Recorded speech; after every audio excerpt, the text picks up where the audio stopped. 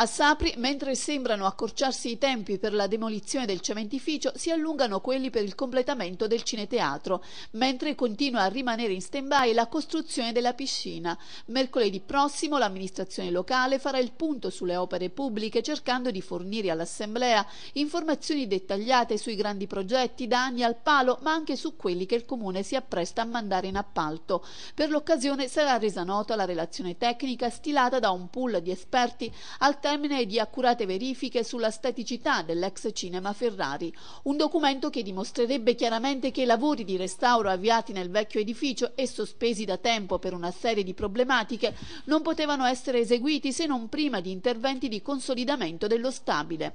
Difatti, dalle prove sismiche è venuto fuori che è inagibile e quindi prima che i lavori riprendano devono essere eseguiti interventi di messa in sicurezza. Chiaramente questo farà allungare ulteriormente i tempi per il completamento completamento dell'opera perché dovranno essere richiesti nuovi fondi e appaltati nuovi lavori. Intanto il Comune attende il via libera della soprintendenza al progetto presentato alcune settimane fa per la demolizione del cementificio. Se sarà accolto senza alcuna riserva, nel giro di poche settimane il Comune avrà in mano l'autorizzazione per l'abbattimento. Da quel momento in poi la società Club Tirrenico, titolare dell'Ecomostro, dovrà avviare le procedure per le demolizioni che dovranno avvenire con materiale esplosivo.